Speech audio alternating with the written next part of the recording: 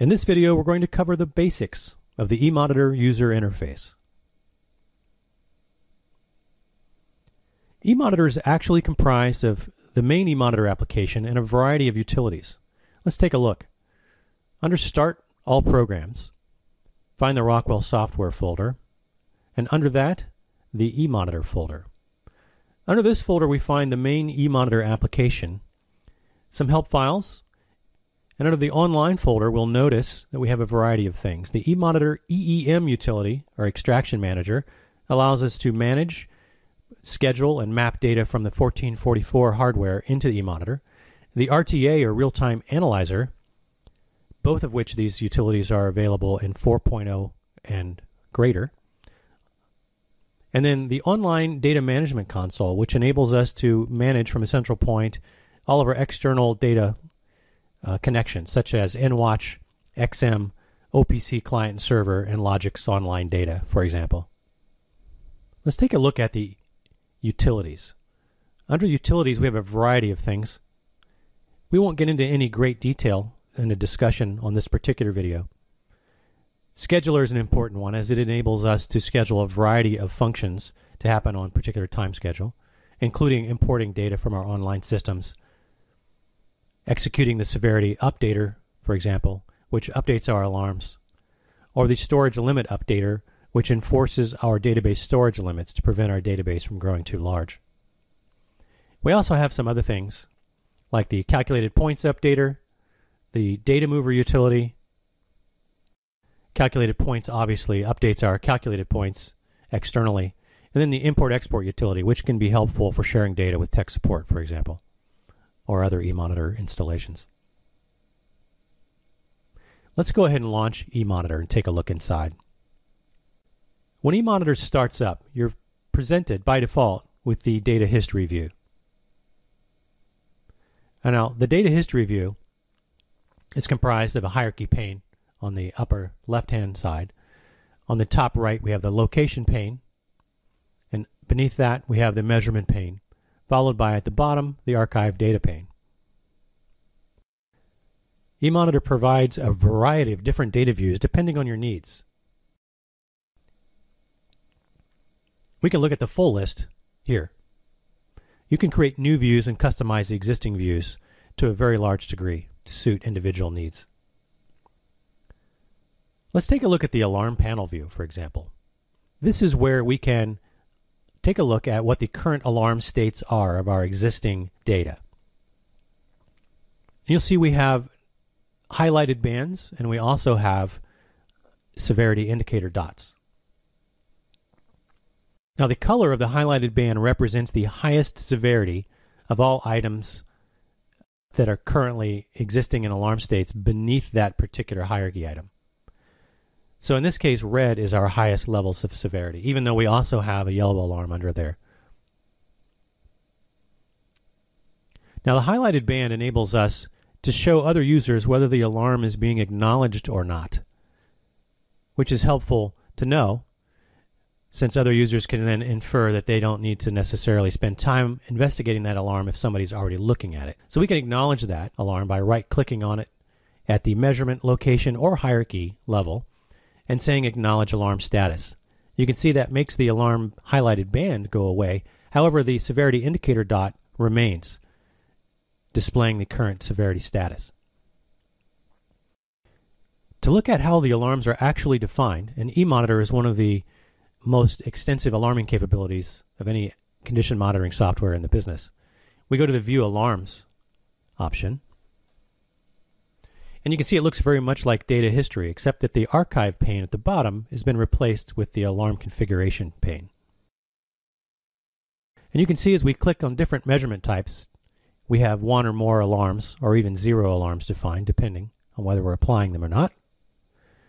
But we'll get different alarm options depending on which data type we have actively cursored. To edit a particular alarm, we simply double click under the alarm definition that particular alarm cell and that gives us a dialog box that allows us to modify that alarm. We won't go into any detail here. We'll cover that in a subsequent video. Let's take a look at the frequency setup view.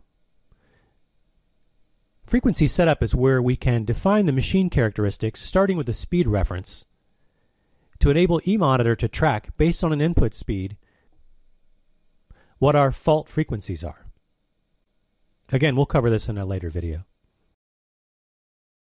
Going back to the data history view, let's take a look in a little more detail. We have three levels of hierarchy, starting with the plant level, the train level, and the machine level. We can put locations and measurements at any of the levels, and those three levels are expandable up to six. Typically, location measurements are created at the machine level, but that's not a requirement.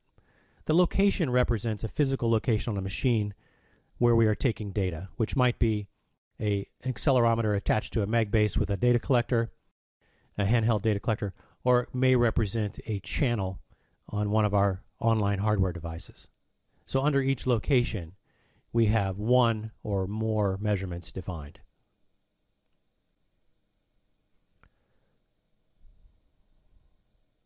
So let's talk about data types.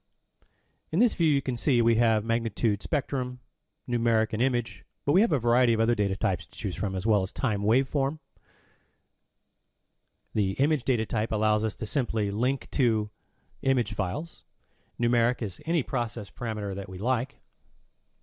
ActiveX allows us to link to specific file types and associate those files with the host applications that created them. So we can double click, for example, on an entry for an Excel spreadsheet. It will launch Excel and load that file. It might also be an infrared document, uh, infrared graphic file that loads the infrared application. The calculated measurement is a very powerful tool. It launches a calculated wizard, which allows us to take existing data in the database and perform calculations on it to derive calculated measurements that we can also trend an alarm on. Enumerated simply gives us the ability to let eMonitor know a particular machine state. Is it on or is it off? Is it running a particular process? Let's talk about another feature that's very useful called creating lists or tagging lists. By tagging an item at any level in the hierarchy, either with the toolbar or at the location and measurement by clicking in a particular cell and double clicking that empty box to the left, we are creating what eMonitor calls as a current list. This current list can be used for data collection or reporting. Now, in cases where we want to use a particular list on a regular basis and we don't want to have to manually retag those items each time we run a particular report, for example, we can save those lists and reuse them later without having to retag those items. To do that, we simply tag the items of interest. Then we go to the list menu. And under list menu, we simply select save.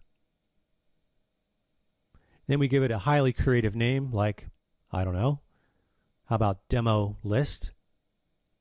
And click OK. We can also schedule these lists for route collections and assign them to particular users. But for the purposes of reports, when I open the report dialog box, it defaults to current list, which will print or include in that report anything that's currently tagged. But I can select the saved list that I just created, and now, whether those items are tagged or not, it'll include just those items in the report that I select.